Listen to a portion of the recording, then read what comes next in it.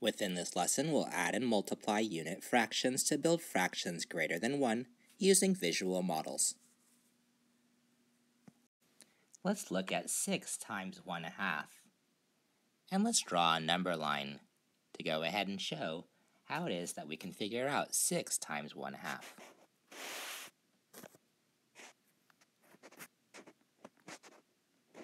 Here's 0. Here's 1 two, three, and four. Six times one half. Well, we can write six times one half as repeated addition. Let's do so. How many one halves would we be adding? Right. Six of them. So 6 times 1 half does equal 1 half plus 1 half plus 1 half plus 1 half plus 1 half plus another half. How would we show this on our number line? Well, we don't have halves yet, so it's best that we break apart our number line into halves, and then we can label them as well.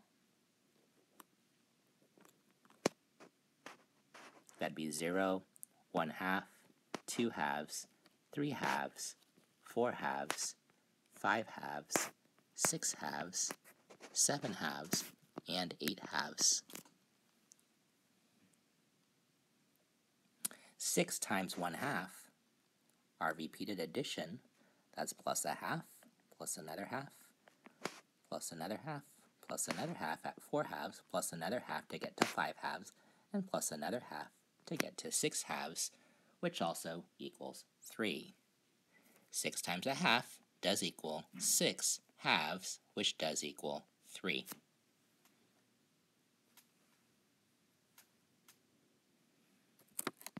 One other thing that you might have noticed is that we could have combined a half and a half to get a whole. So if we draw those parentheses in there with our repeated addition, it would be 1, 2, and 3.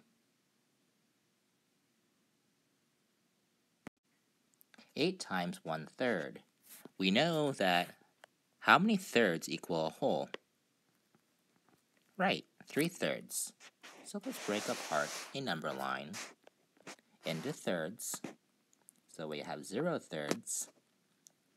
We'll start with the 3 thirds to count by those wholes. 6 thirds, which also equals 2, and 9 thirds, which also equals 3. 8 times 1 third, we could mark 1 third and 2 thirds, 4 thirds and 5 thirds on the number line, and 7 thirds and 8 thirds on the number line. And the other thing that we can do that kind of helps us look at this is to rewrite 8 times 1 third as repeated addition. How many thirds are we adding together there? Right, we would be adding together eight of them.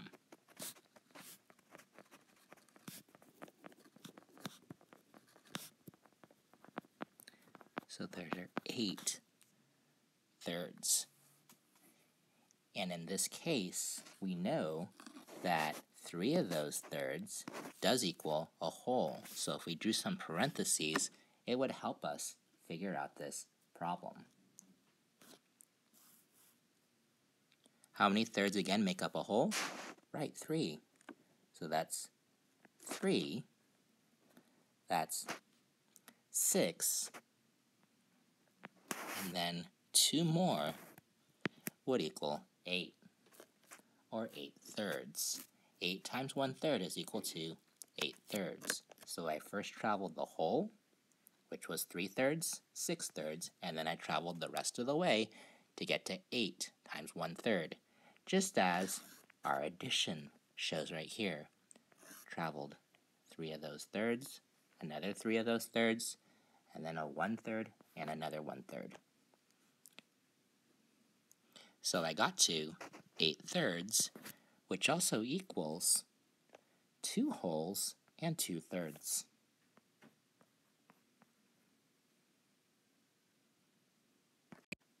Draw a number line to express this 11 times 1 fourth and also draw it as repeated addition to help you figure out this answer. Pause the video while you do your work. How many fourths equal a whole? Right, it would be 4 fourths. So I'd have 4 fourths there, another 4 fourths. How many fourths am I at now? Right, 8 of them. But they want 11 of them. So I still have to add in 3 more.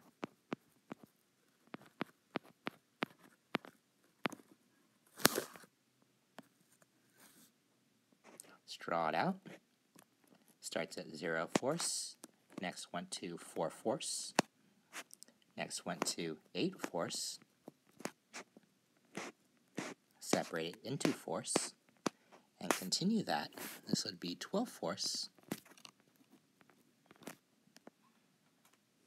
And then how would we draw what we represented by our repeated addition here? What'd you draw? you draw it like this? one whole, two wholes, which is 8 fourths, and then we still have 3 more fourths to travel to be able to get to 11 fourths.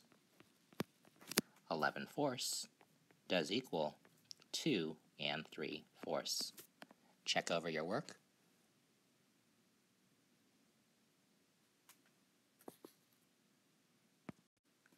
How about 13 times 1 fifth?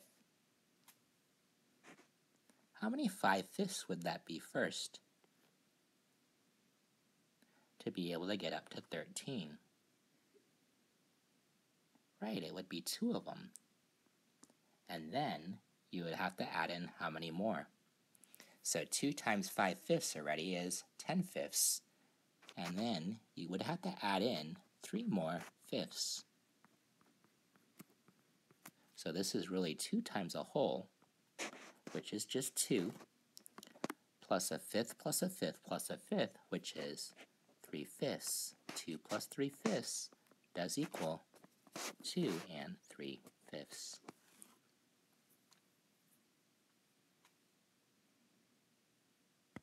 Here's another one to think about.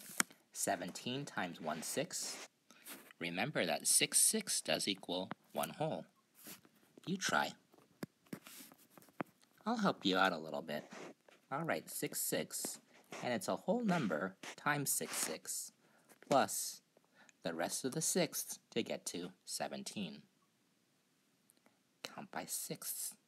6, 6, 12, 6. That would only be what whole number here? Right, 2. And then you still need how many more? you would need 5 more. 6. So it's 2 times 6 sixths. I guess you could express this as 2 times 6 sixths plus 5 times 1 sixth, which is that unit fraction. 2 times 6 sixths is 2 wholes, plus 5 sixths, which does equal 2 and 5 sixths. 17 times 1 sixth is 17 sixths which does equal 2 and 5 6. One of the things to remember is using that visual model could help you figure out this problem. We went 0, 6, 6 6, 12 6. It wasn't quite as much as 18 6. It was actually just one less than that there. So we traveled 1, 2, and then we traveled 5 more to be able to get to 2 and 5 sixths.